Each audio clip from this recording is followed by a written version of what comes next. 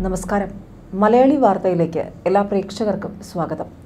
ലോകത്തിന്റെ പ്രകാശമണഞ്ഞു. തിച്ച് നാട്ട് ഹാൻ ഇനിയില്ല.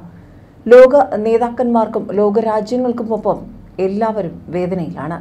ലോകത്തെ ഏറ്റവും സ്വാധീനിച്ച വ്യക്തിയാണ് അദ്ദേഹം. നിങ്ങളുടെ കാലുകൊണ്ട് ഭൂമിയെ ചുംബിക്കുന്നത് പോലെ നടക്കൂ എന്ന് പറഞ്ഞ സന്യാസിവരൻ നാട്ട് ഹാനാണ് വിടവാങ്ങിയിരിക്കുന്നത്. ഒരുപക്ഷെ ലോകത്തെ തന്നെ ഏറ്റവും സ്വാധീനമുള്ള ബുദ്ധ സന്യാസിമാരിൽ പ്രമുഖൻ കൂടിയാണ് അദ്ദേഹം.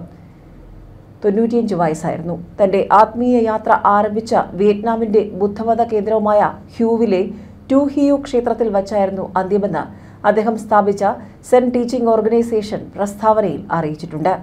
കവിയും സമാധാന പ്രവർത്തകനുമായിരുന്ന ഹാൻ വിയറ്റ്നാം യുദ്ധം അവസാനിപ്പിക്കാൻ മുൻകൈയെടുത്ത ശേഷം ഏകദേശം നാൽപ്പത് വർഷത്തോളം പ്രവാസത്തിലായിരുന്നു. ബുദ്ധമതത്തെ ലോകത്ത് ഇത്രയധികം പ്രചാരത്തിലാക്കാൻ പ്രവർത്തിച്ച മറ്റൊരു സന്യാസിവീരനും ഉണ്ടായിരുന്നില്ല. ദലൈലാമയ്ക്ക് പിന്നിൽ രണ്ടാമനായി കണക്കാക്കപ്പെട്ടിരുന്നു അദ്ദേഹത്തെ. സൗമ്യവും എന്നാൽ ശക്തവുമായ സ്വരത്തിൽ നിങ്ങളുടെ കാലുകൊണ്ട് ഭൂമിയെ ചുംബിക്കുന്നത് പോലെ നടക്കേണ്ടതിന്റെ ആവശ്യകതയെക്കുറിച്ച് താത്വികമായായിരുന്നു അദ്ദേഹത്തിന്റെ പ്രഭാഷണങ്ങൾ. മനനം ധ്യാനം എന്നിവയെക്കുറിച്ച് നൂറിലധികം പുസ്തകങ്ങളുടെ രചയിതാവ് കൂടിയായിരുന്നു അദ്ദേഹം. ഏഴ് ഭാഷകൾ സംസാരിക്കുന്ന തിജ്നാട്ട് ഹാൻ ആയിരത്തി തൊള്ളായിരത്തി അറുപതുകളുടെ തുടക്കത്തിൽ അമേരിക്കയിലെ പ്രിൻസ്റ്റൺ കൊളംബിയ സർവകലാശാലകളിൽ പ്രഭാഷണം നടത്തി. യു എസ് വിയറ്റ്നാം യുദ്ധത്തിനെതിരായ പ്രതിഷേധത്തിൽ പങ്കുചേരാൻ അദ്ദേഹം ആയിരത്തി തൊള്ളായിരത്തി അറുപത്തി മൂന്നിൽ വിയറ്റ്നാമിലേക്ക് മടങ്ങി. നിരവധി സന്യാസിമാർ സ്വയം തീ കൊളുത്തി യുദ്ധത്തിനെതിരെ പ്രതിഷേധിച്ചിരുന്നു.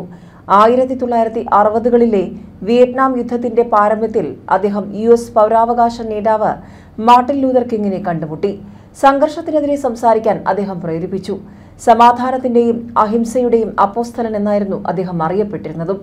സമാധാനത്തിനുള്ള നൊബേൽ സമ്മാനത്തിന് അദ്ദേഹത്തെ നാമനിർദ്ദേശവും ചെയ്തിരുന്നു. ന്യൂസ് ഡെസ്ക് മലയാളി വാർത്ത.